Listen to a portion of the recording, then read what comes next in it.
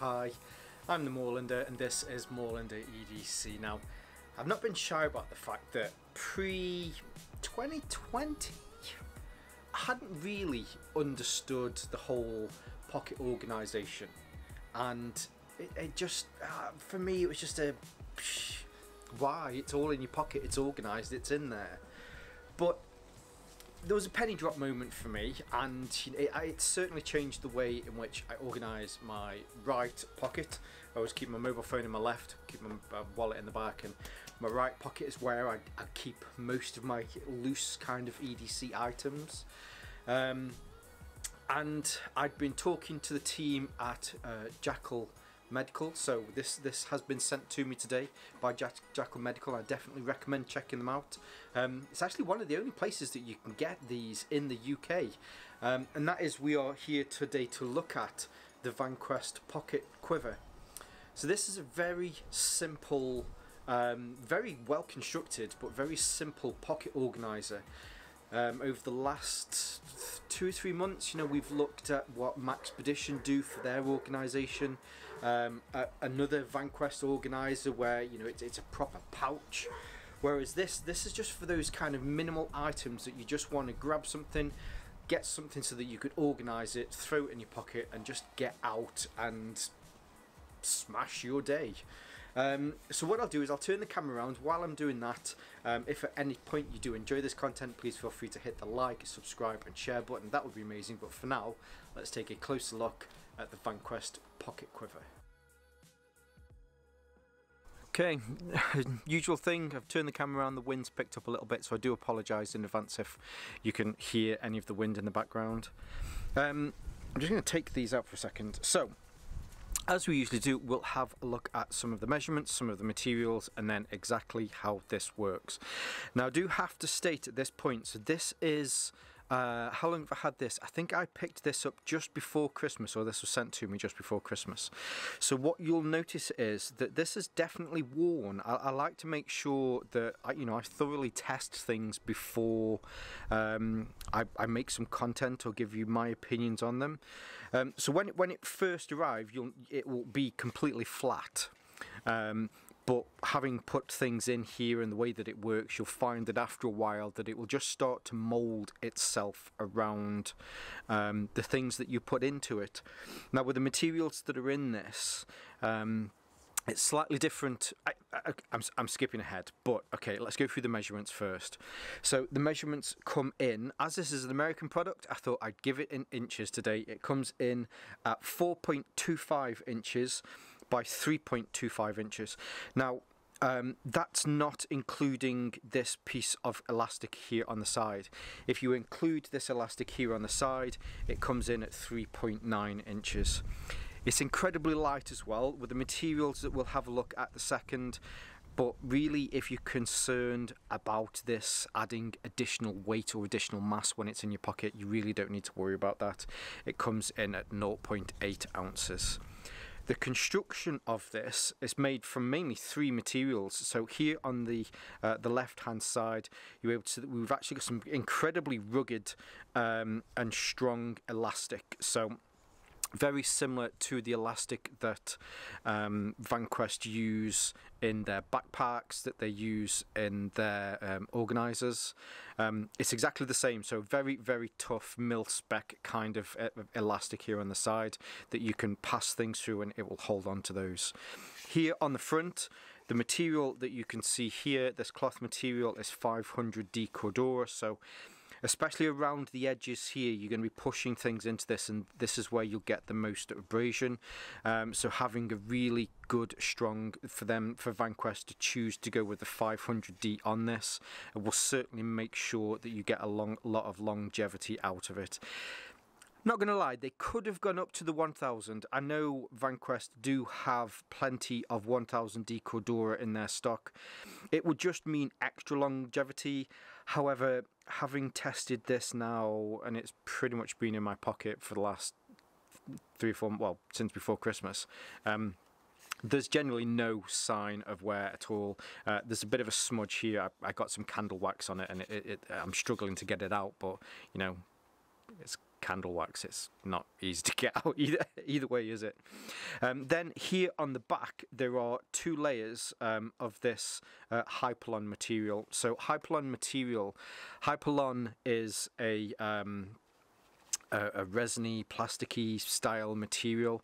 Um, if you've ever seen the uh, breaching boats that like the SAS use. Um, this is this is the type of material that those dinghies are made from. Um, it's ridiculously strong and ridiculously tough. You can see the fibres um, just coming out from the outside of it here.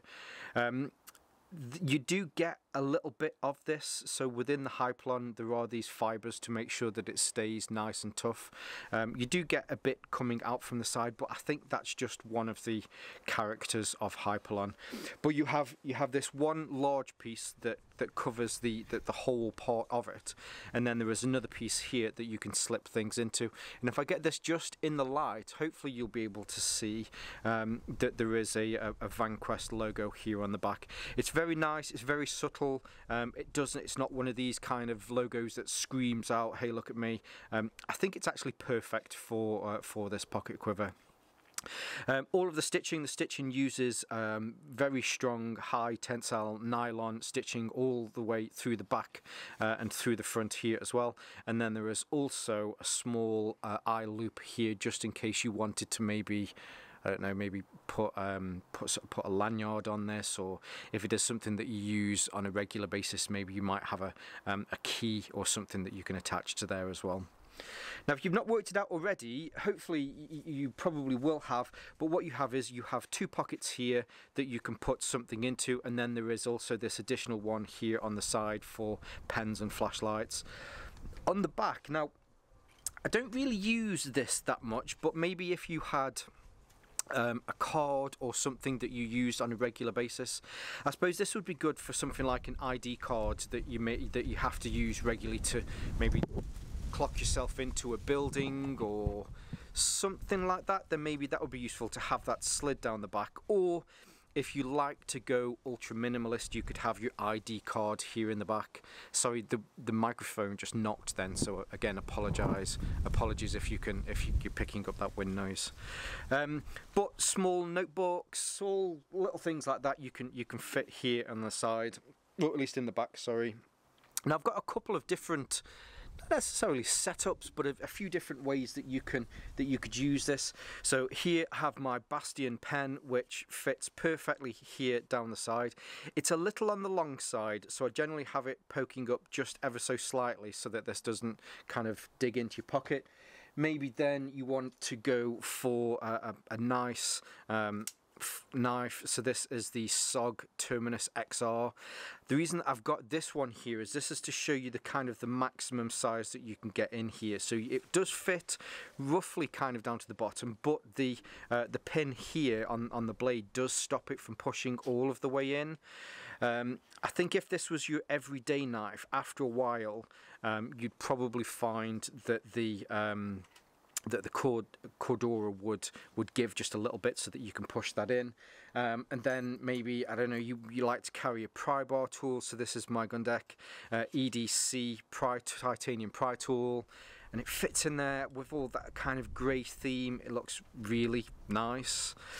Um, but maybe, I don't know, maybe you've got a different carry, so maybe you like to go all with the same colour. Uh, so here we have my uh, all black Spartan maybe we could put a flashlight down the side. So this is the uh, this is the Olight i3T Plus. Um, because this side bit is designed mainly to put pens down if you have a pen style flashlight it fits perfectly in there. Because we've already got a flashlight maybe we might want to carry uh, a clipper steel clipper pocket um, lighter in there. You could you could certainly have it like that. Maybe you want to switch it up a little bit more you could easily put in uh, a flashlight here on this side so that is the i5T and then maybe drop in a pen. Now I find with these Fisher bullet pens that they are, it's, it's a little baggy um, in there. Now that's not because I've had wide things particularly in here that stretched it out but it, it, really it's designed for something a little bit wider than these. But when it's in your pocket you certainly don't find that this pulls out or it, it falls out. But instead maybe you might want to go for one of these Kershaw um, Kershaw sorry I've got the name wrong there for a second uh, Kaweco um, sports. These fit in really really nice and it, it grips that very well um, or one, one of the other things that does work really well in these are uh, so these Bic 4 colours um, you can now get a shorter version of the original Bic 4 colour. Um, and again that just slips into there. Maybe you want to go full kind of um, full multi-tool for the day. You could throw in um, Victorinox uh, Pioneer and then maybe a SOG snippet which also fits in so that it goes over there as well. You've got a lot of options that you can do with this and really you're only limited by your own imagination of what you can fit in. Well, I mean, you're limited in a way that you probably couldn't fit two of those in that one side, but hopefully you, you get what I meant there, didn't you? Now, as I say, I never really understood the value of these, mainly because you just put your stuff in your pocket anyway. Why? It, it's it's there. You need it. It's there. But everything lies flat, and they lie flat on top of each other. And just being able to have something that you can grab and know exactly where everything is, I've certainly loved, learned, and loved to to appreciate just how valuable these are. On the value side, uh, here in the UK, I think these are about, I want to say about 12, 13, 14 pounds, not particularly expensive. So they are very budget friendly if you're wanting to pick one of these up. As I mentioned at the beginning of this, you know, this was sent to me um, from uh, Jackal Medical, so definitely check check them out. But I think for pocket organisation, something that is nice and simple and is certainly very well made. Um, the VanQuest Pocket Quiver is definitely a great addition that you can add to your pocket. Now I'll leave all of those links below so that you can see more from uh, Jackal Medical. I'll leave some of their social media links as well. I'll leave some of my social media links as well. Uh, if you want to follow me on Instagram at Moorlander underscore EDC. It's generally where you'll see all of the bits that you know I'm testing out and um, you get to see what's headed towards the channel in the future as well. Uh, but for now, stay safe, stay Moorlander, and stay EDC. Now, stay safe, stay Moorlander, and stay EDC. And that was a really loud car. You probably heard that. Cars. Who'd have them? You'd have them. Because you need to drive places. Yes. Cold.